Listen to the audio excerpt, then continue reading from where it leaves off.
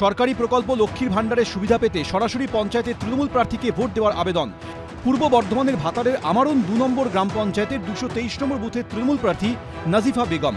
তার সমর্থনে এমনই দেওয়াল লেখা হয়েছে ভাতারের পলসোনা গ্রামে, যা ঘিরে তৈরি হয়েছে বিতর্ক। সরকারি একটা চালু করেছে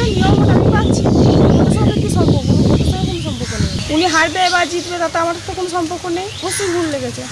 পঞ্চায়েতের বৈতরণী পার হতে সরাসরি টাকার টোপ নাকি ঘুরিয়ে ভোটারদের হুমকি? তৃণমূল কংগ্রেসের দেওয়াল লিখন নিয়ে সরব হয়েছে বিরোধীরা। এটা পরোক্ষে হুমকি দেওয়া হচ্ছে বলে আমরা বিজেপির পক্ষ থেকে মনে করছি। যে যদি তাকে ভোট না দেওয়া হয় তাহলে ওই গ্রামের মানুষকে লক্ষ্মীর ভাণ্ডার দেওয়া হবে না। এই তৃণমূল কংগ্রেস তারা দল আর সরকারের পার্থক্য বোঝে না সেটা আরও একবার প্রমাণিত হলো। তৃণমূল কংগ্রেসের পৈতৃক কোনো সম্পত্তি নয় সরকারি সম্পত্তি। জনগণের টাকা জনগণের টাকাতেই এই সমস্ত প্রকল্প রচিত হয়েছে ফলে কোনো অধিকার নেই তাদের। এটা করার নির্বাচন কমিশনের উচিত অবিলম্বে ব্যবস্থা গ্রহণ করা। গরিব যারা তাদের কাছে এটা একটা থ্রেট বিতর্কের মুখে সাফাই দিয়েছে তৃণমূল। হয়তো প্রার্থী বলতে চেয়েছে যে তৃণমূল কংগ্রেসের হাতকে শক্ত করুন এবং তৃণমূল কংগ্রেসকে ভোট দিন। তৃণমূল কংগ্রেসকে ভোট দিলে যে জনমুখী প্রকল্পগুলো মমতা ব্যানার্জির আছে সেই প্রকল্পগুলো সচল থাকবে। এবং সেই প্রকল্পগুলো মানুষের ঘরে ঘরে পৌঁছে যাবে। এটাই হয়তো তিনি বলতে চেয়েছেন। ভোট প্রচারে দেওয়াল লিখেছে শাসক বিরোধী দুপক্ষ। শাসক দলের এমন দেওয়াল লিখন ঘিরে বিতর্কে সরগরম ভাতার। কমল কৃষ্ণ দে এবিপি আনন্দ পূর্ব বর্ধমান। সম্পর্কে দুই যা আগে পরিবার একান্নবর্তী থাকলেও এখন আলাদা সংসার। চার দেওয়ালের মধ্যে মতের মিল হয়নি। চার দেওয়ালের বাইরেও যুযুধান। ভোটের ময়দানে একে অপরের প্রতিদ্বন্দ্বী। উত্তর চব্বিশ পরগনার গাইঘাটার বাসিন্দা অপর্ণা পাল ও সাথী পাল সুটিয়া গ্রাম পঞ্চায়েতের প্রার্থী। বড় যা অপর্ণা তৃণমূলের হয়ে পঞ্চায়েত ভোটে লড়ছেন। ছোট যা সাথী কংগ্রেসের প্রার্থী। দু হাজার তেরো থেকে দু হাজার আঠেরো পর্যন্ত সুটিয়া গ্রাম পঞ্চায়েতের প্রধান ছিলেন অপর্ণা। দু হাজার আঠেরো সালের পঞ্চায়েত ভোটে শাশুড়ির বিরুদ্ধে লড়েছেন তিনি। এবার বড় জায়ের বিরুদ্ধে লড়াইয়ে নেমেছেন রাজনীতিতে নবাগতা ছোট যা যখন ঘরে আসেন, তখন উনি পার্টি পছন্দ করে না।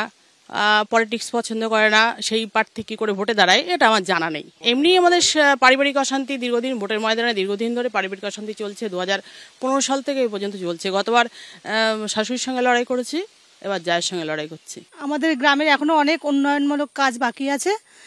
অনেক রাস্তা সংস্কার হয়নি অনেকে এখনও কাঁচা বাড়িতে বাস করে এখনও অনেকে পাকা ঘর পায়নি। পারিবারিক সম্পর্ক সেরকম ভালো নেই। দুই জায়ের লড়াইয়ে সরগরম মালদার গাজলও। স্থানীয় বোমকা গ্রামের বাসিন্দা শিলা মণ্ডল ও জয়শ্রী মণ্ডলও নেমেছেন ভোটের ময়দানে। গাজল এক নম্বর গ্রাম পঞ্চায়েতের দুর্গাপুর বুথে পরস্পরের বিরুদ্ধে লড়ছেন তারা। বড় যা শিলা তৃণমূল কংগ্রেসের প্রার্থী, ছোট যা জয়শ্রী ভোটে দাঁড়িয়েছেন বহুজন সমাজ পার্টির টিকিটে। মিছিল, গ্রাম বৈঠক থেকে দরজায় দরজায় ঘুরে প্রচার। নিজেদের রাজনৈতিক বক্তব্য মানুষের সামনে তুলে ধরছেন তারা। গ্রামের খুশি মনে যারা যাকে জিতাবে, কিন্তু সেগুলোই আমরা মেনে নেব। হার জিত তো আছেই, কিন্তু আমরা তো রাজনীতি করি না।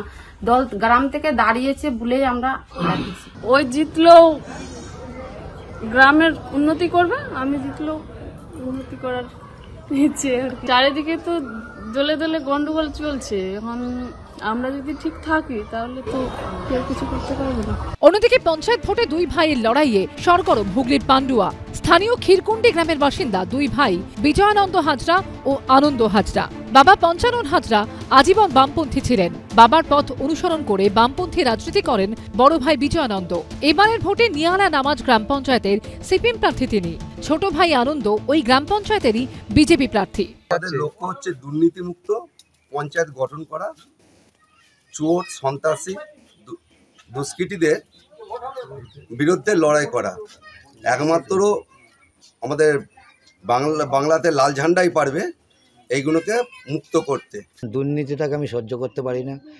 দুর্নীতির বিরুদ্ধে থাকব বলে আজ বিজেপিতে এসেছি, নরেন্দ্র মোদীর স্বাদ নিয়েছি। আমার ভারতবর্ষকে এক নম্বরের পথে এগিয়ে নিয়ে যাচ্ছেন নরেন্দ্র মোদী।